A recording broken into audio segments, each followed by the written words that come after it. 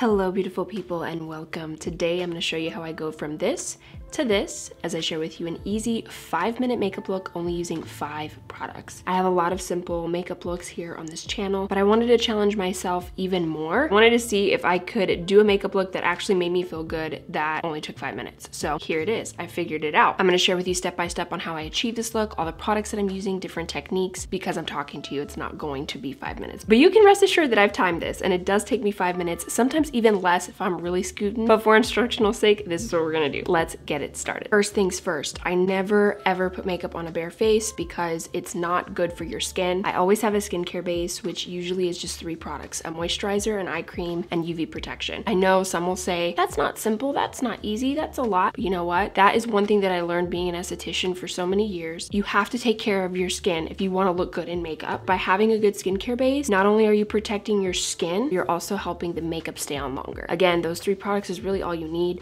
for a good skincare base, but we already got that on, so let's get started with the actual makeup. I'm gonna bring you just a little bit closer. Ooh, this face is getting swollen.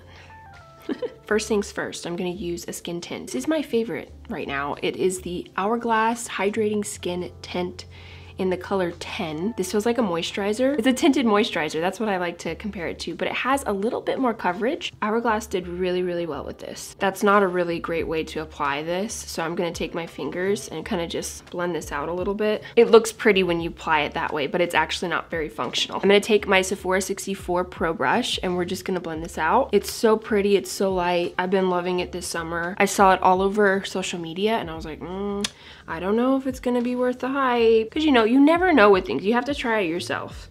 Because even if everybody else likes it, you might not like it. This, I tried it, and I love it. I think it's very beautiful. If you don't like foundation, if you don't like a lot of makeup, definitely try this out because I feel like it gives a moisturizing effect, but a slight like blur, like a filter. This product also blends really well with a beauty blender, by the way. So if you didn't want to get the brush, use a beauty blender, it actually works even better. Next up is brows. This is very challenging for me as usually my brows are like a three-step process. I am most insecure about my eyebrow hair because it's sparse. I mean, they're there, but they're not. It's a very awkward situation in my opinion. I have found some peace in just using this product. It's not what I would usually do for my brows, but again, we're on a time crunch. Five minutes or less, that's it. I'm gonna use the Benefit Gimme Brow Plus in the color 4.5. This is their volumizing gel. Using this by itself is actually pretty amazing. I start in the center and just kind of brush upward. So we're getting a nice like fluffy brow situation. Again, on the other eyebrow here. I think the pigment in this volumizing gel is amazing. I used to really love the Milk volumizing gel, but this has won my heart over because I find that this is a little bit richer. I think if you have eyebrows like me, this will work really, really well for you. I think this adds a really good fullness to them. And although it's not how I usually like to do my brows, I definitely still feel really pretty like this and at least it's something. It adds something, you know? And if you just had just a little bit more brow hairs than I do, that would be golden for you. I'm satisfied. That looks good.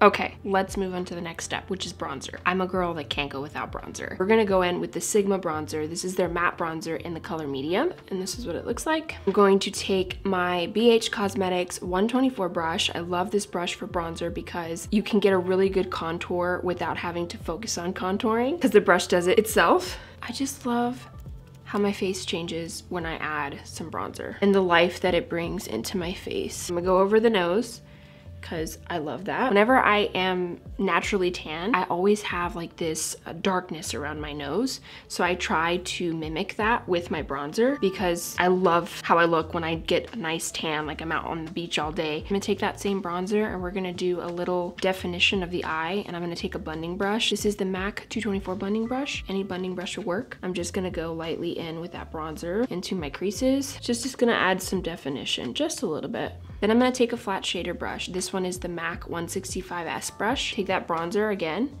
I just go here You might call this extra, but I'm telling you, this changes the makeup look, the game. It brings out the natural brown in my eyes, and it just helps unify the entire makeup look. Next step is blush. I love blush. I have to do blush. Again, going for that, I just came back from the beach day. I always have not only a bronze look, but also kind of a reddish look because, you know, you've been baking in the sun. I love recreating that. We're gonna go in with this blush stick from Makeup by Mario. It is a cream blush stick, and it's in the color Soft Coral. One of my favorites. It's just so pretty. Really easy to apply. And we go up like that. And a little bit on the nose, just like a tiny, tiny bit. I'm gonna take the Sigma F53 airbrush to blend this out. And watch how pretty this blends out. Nice and light. I literally feel like I came back from the beach. It's exactly what I want. if you feel so inclined, you can also apply this to your lips.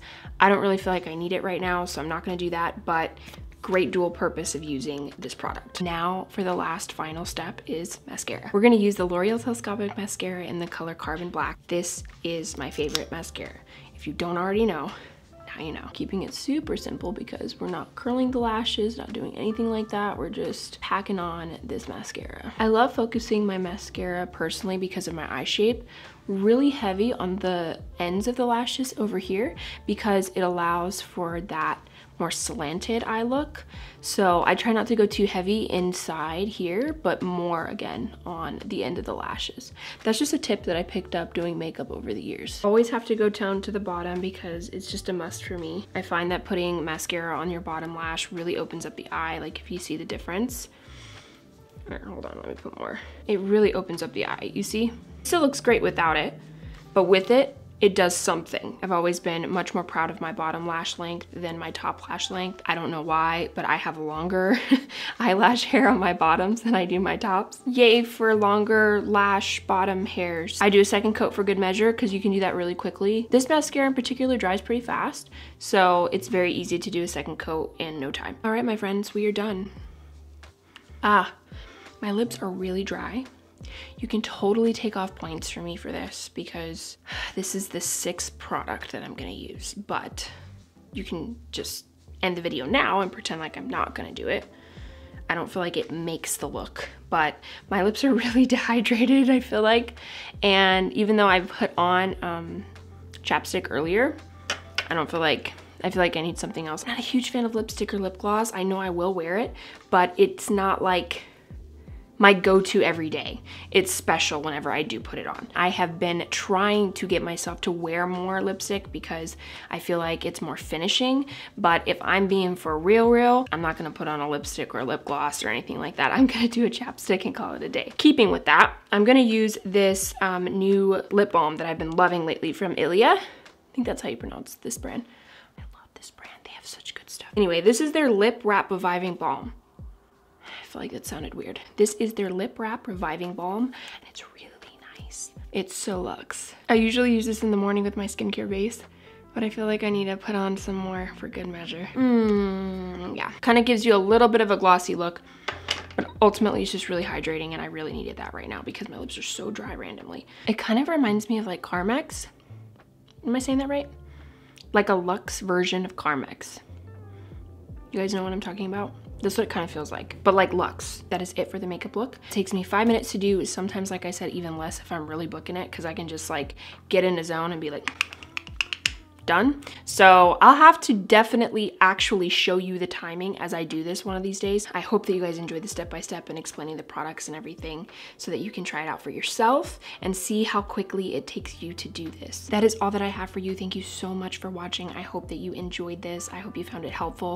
If you did, make sure you give it a thumbs up and don't forget to subscribe so you don't miss out on any more videos like this. Again, thank you so much for watching and I look forward to seeing you in my next video. Bye!